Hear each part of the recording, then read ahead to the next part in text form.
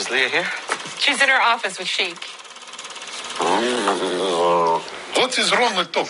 Nothing. She has tumors. She's resting. Hmm. I'm hosting a barbecue for all my wrestlers before the match. Yes, very exciting. I go to Safeway, I get the cupcake. The barbecue is a family event. So let's run through things that you can't say. No problem. Sheik, only family man. All these words here.